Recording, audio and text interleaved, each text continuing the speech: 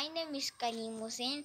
In this video, I am going to tell a story called The Cat in the Mat. Once upon a time, there was a witch called Nazma.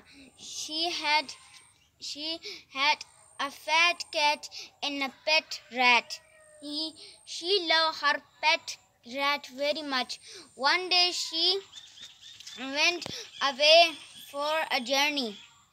The rat, this, the rat went to the cupboard. The cat stay on the the cat gone upstairs and stay on the mat. The rat said, Cat, why are you stand, standing on my mat? The cat said, So what happens? The rat said, If you don't come out, I'll bring my bat. The the cat said, Then bring your bat.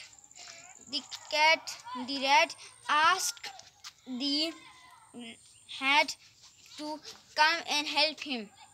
The hat said, Cat, get out of Matt's rat. Matt's rat's mat. Then the cat said, Why would I get out of the rat's mat? The cat said, Or I'll bring my gun. The cat said, Okay, then bring your gun.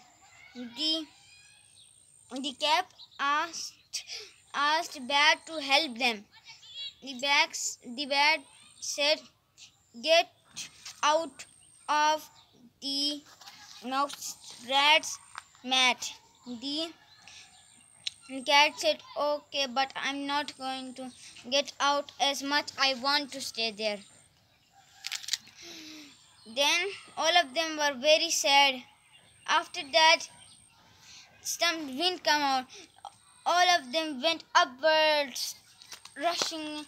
Then they fell on on the top of the cat. The cat said, "Get off of me!" All of them said, "No, we won't until you get out of the rat's mat." The cat did not get out.